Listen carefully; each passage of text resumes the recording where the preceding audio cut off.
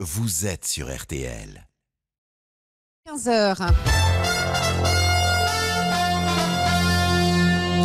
Et l'information, c'est avec vous, Aude Vernuccio. Bonjour Aude. Bonjour Flavie, bonjour à tous. Des messages à caractère raciste ont-ils été échangés sur Facebook par des milliers de policiers?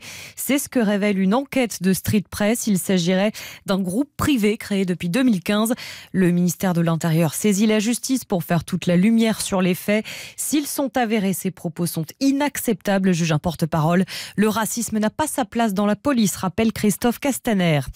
L'enquête sur la mort d'Adama Traoré relancée. Le jeune homme était décédé après son interpellation à Beaumont-sur-Oise en 2016.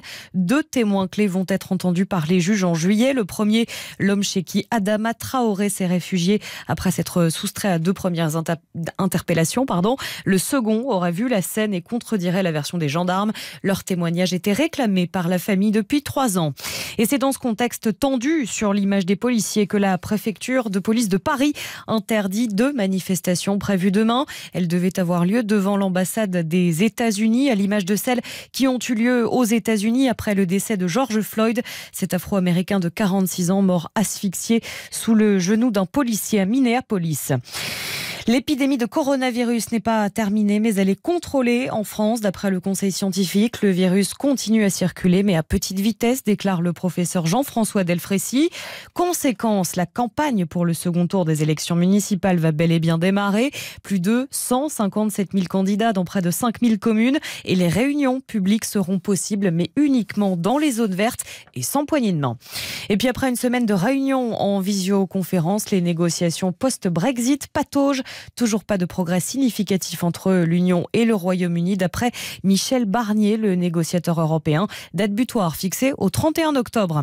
Les courses, elles ont lieu à Angers et on rejoint tout de suite Claude Pierre Santi. Bonjour à vous.